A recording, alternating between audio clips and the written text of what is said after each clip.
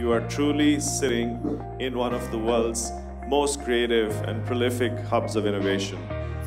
What we're trying to do here is find early stage growth. Uh, it's really going from zero to one.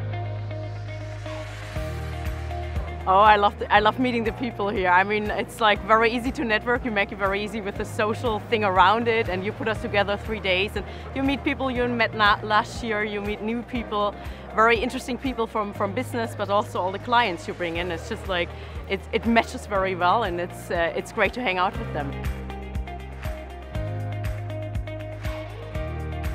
I wasn't really uh, expecting, and I really got to know uh, people from different industries, and just the level of talent was um, really amazing.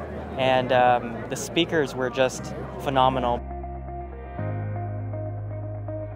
I never expected to learn so much about um, quantum computing and space exploration from world-renowned experts. We have very enviable positions of trust with these families. We should continue to build these positive relationships going into the next generation. Innovation is just not technology. Innovation is also changing people's framework.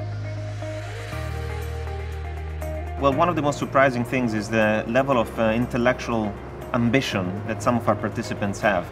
They're really thinking about ways to embrace some of the technologies that were discussed as a way to change the world.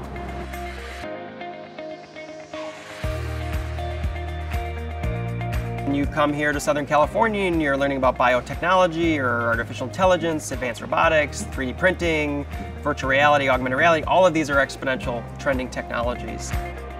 My uh, advice to the young people in terms of innovation is to do things their own way and not follow uh, on how things have been done in the past. Trail your own path forward rather than looking at how things have been done in the past.